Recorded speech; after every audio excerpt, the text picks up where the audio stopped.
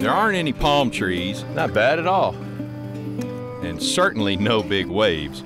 Hey, I may start a new guide service doing this. But that doesn't mean paddleboarding on a river for the very first time will be any less fun. Hey, baby, let's go fishing. I'm ready. Catch some trout. I'll try just about anything once if it helps me catch fish, even if it makes me feel like a rookie. Pretty stable. Regular fishing be easy. I think trying out the fish will be next. Setting the hook. You don't want to set the hook too hard. That's going to be the interesting thing. Lucky for me, even at my age, I can mostly keep my balance.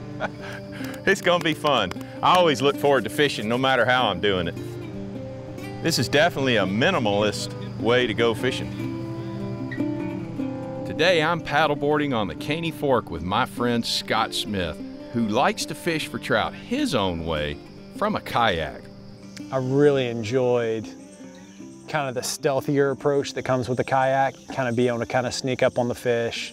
Um, you're more ground level with them too, you know, it's a little more personal, so I enjoy it. Fishing from a kayak is one thing, but fly casting from a paddleboard is teaching me some pretty quick lessons. Look at how this little guy's turning the turning the board. Go that way. Pull me that way. Feisty little guy this morning. Scott and I have found a nice spot. Any luck yet? I had that one bump. Ah! Oh, he got off. Imagine that. Hey Chris, I got I got one. oh, do you? Good. I haven't fished this part of the Caney lately, but I'm getting some good action. It looks like I've got an audience too. Maybe he recognizes nuts. And he sees that I'm the big nut. I think we have a brookie. We do. It doesn't take long to get comfortable on the paddleboard and find a good casting rhythm. You know, I could see bringing my kids to do something like this, my wife. I don't think I'd use a paddleboard for a serious fishing tool so much, but it's a great way to get exercise and fish and have fun at the same time. It's a great crossover. They're very stable, uh, and it's one of those things. The more you use the board, the more you get used to standing on that kind of, um, you know, platform that is not like dry land. It definitely has a little bit of wobble to it, but um, it's it's they're a lot of fun. You also have to watch out for shallow water.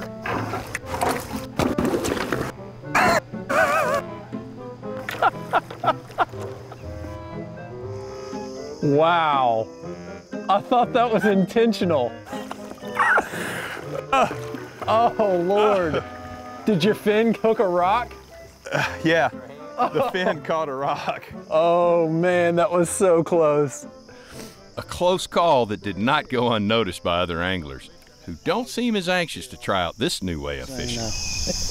I mean, there's nothing wrong with it, but uh, I'm probably a little too old stiff for that, that sort of thing. Kind of like Chris. Yeah.